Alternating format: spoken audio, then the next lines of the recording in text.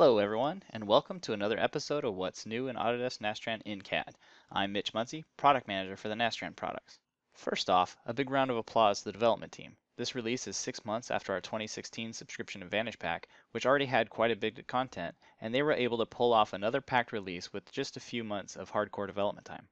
We've got about 30 new features in this release, and I'll try to quickly highlight some of my favorites. The first thing you'll notice when entering the Autodesk Nastran In-CAD environment are the new icons. We've updated the look and feel of the ribbon as well as the tree. These new icons provide a more standardized appearance. Next, for this model, we'll want to swap out some of the components and replace them with springs. To do this, we could have created a custom level of detail for our simulation model, but now we can exclude components directly from the InCAD tree. You can tell an item is excluded by its transparent appearance. If you'd like to hide it entirely, you can also turn off its visibility. Next, we'll create our connectors. We'll start by creating the rigid elements at the center of our parts. Now we have an option for our rigid elements to automatically create this center point for us. It'll create a new point in Inventor that can be used for the rigid element and for other elements as well. Next, we'll connect the rigids together with spring elements. We can use the center points that were created. Next, we'll apply a remote force to where the head tube is connected. We'll assume it's coming in from the handlebars. One of the new options we have is to automatically display the coordinate system that is active for your loads and constraints. This is helpful in making sure the direction is correct. We also added the ability to select a face chain. This is useful for applying loads or constraints to all connected faces like you would have with an internal pressure or maybe a convection load. One of my new favorite features, which is already getting quite a bit of use, is the ability to use units in math and dialog boxes.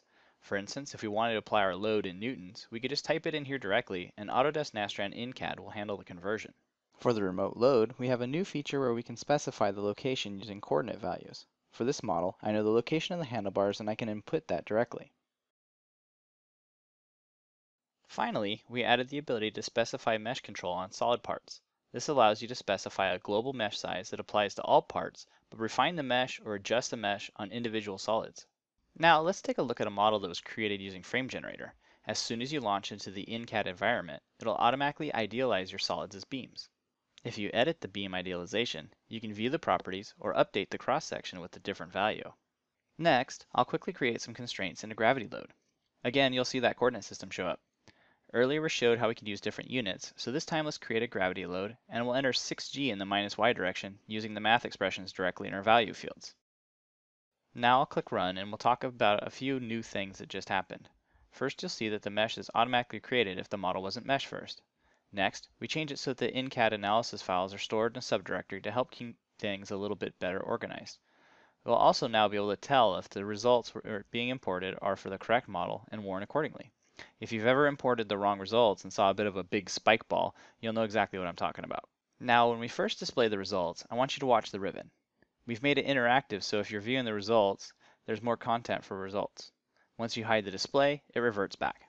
We've also added object visibility to the ribbon. This allows you to turn things off and on from here for the document rather than just adjusting them on the global settings.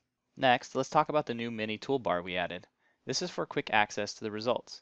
You'll see that we have a filter for the different type of results that we want to view. We've done something similar if you edit the results display.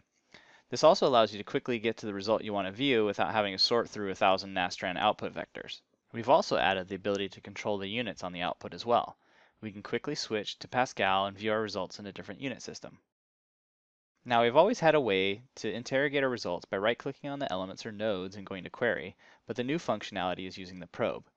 If you click on the screen, you can place the probes, you can move these probes around if you like, and once you're done, you can click on the ribbon to remove them. Alright everyone, that's it for me. I hope you're as excited as we are about some of these new features and you get a chance to try them out soon. See you next time.